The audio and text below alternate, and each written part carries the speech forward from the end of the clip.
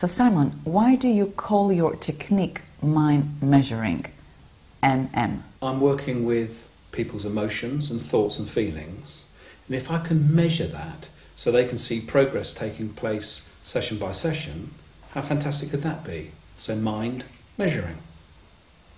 What I do is I help to change almost the natural resource, but safely. So, therefore, we can start just to reduce the brakes a little. So, the resistance of life starts to just diminish. So, people's natural confidences and self assurance can come to the fore. So, then, of course, if you feel good, you are good. You look good. You feel fantastic. And that's what I'm all about.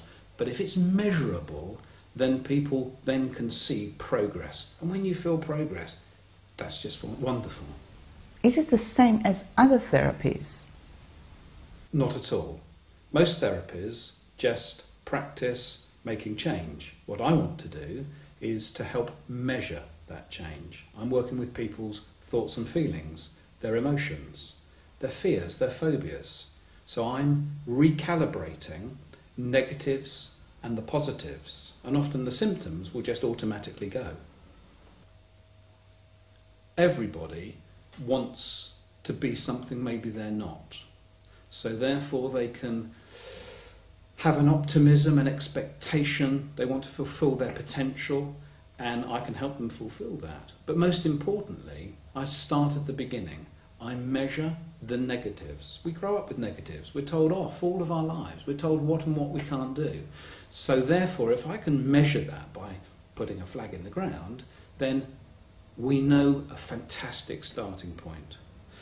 Many therapists will say where we've been, where we are, where we're going. I actually just want to know where we are right now. So that measuring point is the starting point, and then we can measure the success from there on in. I do that subconsciously, of course, that wonderful relaxed state between being awake and asleep. And most therapies will work on a variety of different relaxation techniques. So it's, it's fantastic for anybody, actually. So, what condition can it help? Fears, phobias, illnesses, psychosomatic illnesses, um, weight, uh, a whole series of things.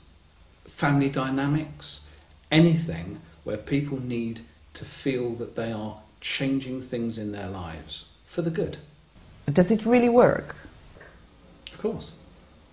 Does it work on everyone? Not at all. Only for those that really want to make change. The time has got to be right for those people. I'll have Mrs. Smith ringing me up and asking for therapy for Mr. Smith. Mr. Smith comes to my therapy room and doesn't want to make that change, so of course it wouldn't work with him. It only works with people who are ready to make that change, a life changing change. Have you ever felt? Yes, with Mr. Smith. Tell us about it.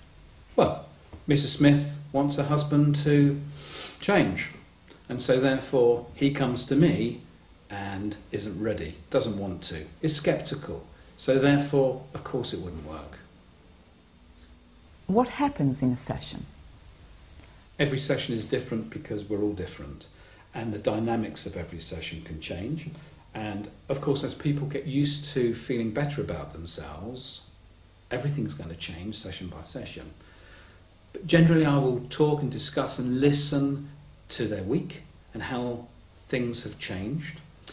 I'm really only interested in the negatives though, because if they felt good, I wouldn't be there in the first place. So I'm very interested in their brakes, in the resistance of what's going on in their life. And towards the end of the session, I would help them to relax with certain techniques that are known to most people, relaxation techniques, where I help them to change from a conscious state, so that's how we are right now, into a subconscious state, which is kind of a sleep—the combination of being awake and asleep, like daydreaming. And that's where I can do my best work and help them to facilitate that change and then measure it. This is not a deep hypnotic state, it is not. And of course, it's not unconscious because that's when you're asleep. So it's that on the cusp of just relaxing and almost just drifting off. And it's lovely. People, people love it. And they come away feeling refreshed and revitalized and re energized, but with a purpose. Are your clients always in control? I use the word control in my therapy sessions all the time, but what I'm doing is I'm transferring control to my clients. They take control of their lives. How we think is how we feel, and how we feel determines how we act and behave. And that's so, so important. So if people feel good and can see that measurement taking place week by week, their weight going down, their weight going up, their fears and phobias changing, the symptoms changing, then that is such a wonderful thing for people that they start to gain confidence. And once they have the confidence, they don't need a therapist anymore. They go out and face life in their own way, in their own particular way, and that's so, so important. So, what I'm going to do with every client is to help build a foundation stone for them to feel so fantastic that they can go out and do what they want to do. Tell us in a few words, what do you want to achieve? I work with lots of people in television and film and theatre and professional sport. Now, these are high achievers, but they're still like us, everyday people, who have fears and phobias and worries and concerns. So, if we can just get those as the foundation stone and more positive, people can go and achieve whatever they want to achieve.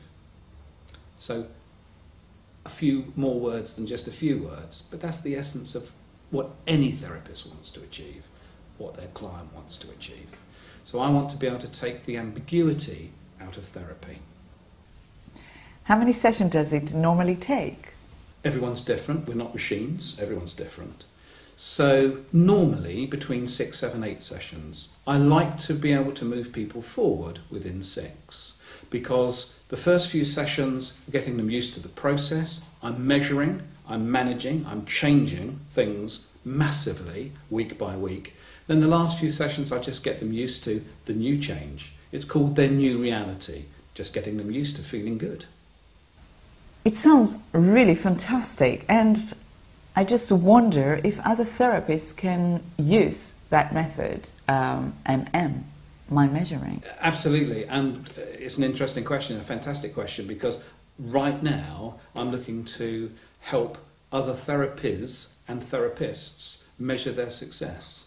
One of the big problems, I think, with alternative therapy is that clients do think it's alternative. It should be complementary, it should be complementing mainstream medicine. And so, therefore, if I can help the therapists to show just how good they are at what they do for their clients, how, how wonderful could that be? So, yes, I'm teaching other therapists right now how to show their clients what wonderful changes they're making for them. So, Simon, how do people contact you? They come onto my website, simonedwards.com.